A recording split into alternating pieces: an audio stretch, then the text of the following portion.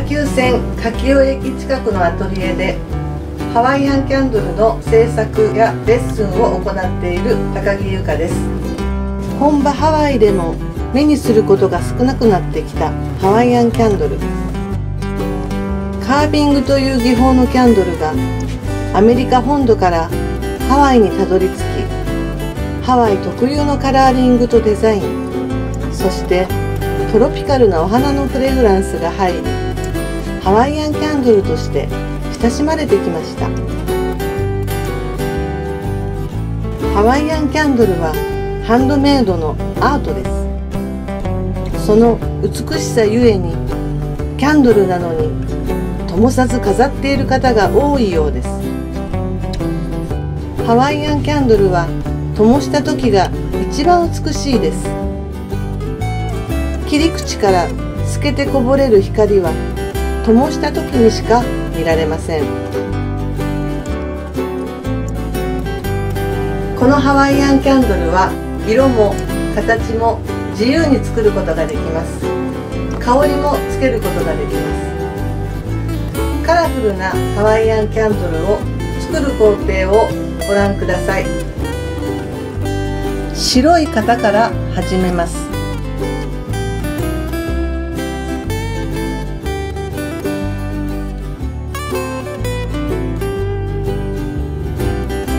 カラーパラフィンをディッピングして色付けします。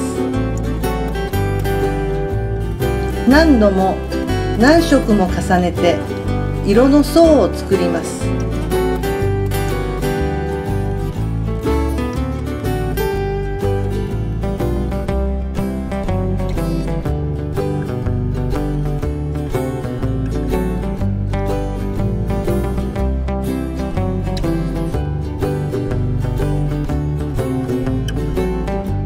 ナイフで削ってひねってデザインを作ります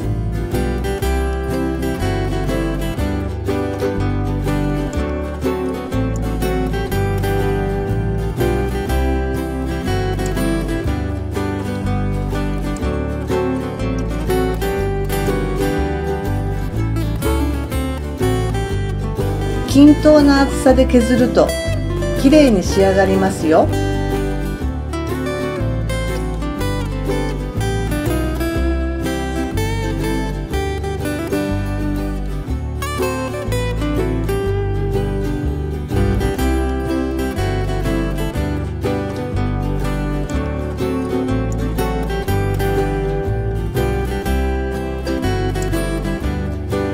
最後に細く削ってねじってキャンディーのようです。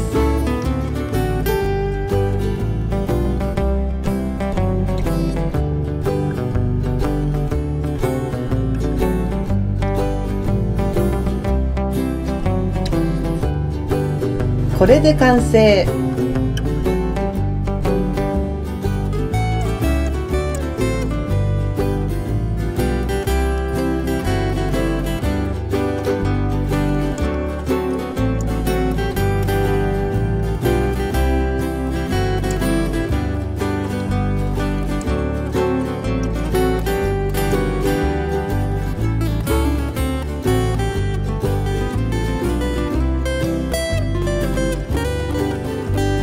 ウェディングハワイアンキャンドルも制作しています。ドレスの色に合わせたピンクのウェディングケーキキャンドル。海がテーマのブルーのメインキャンドルとテーブルキャンドル。新郎新婦とご相談してオーダーメイドいたします。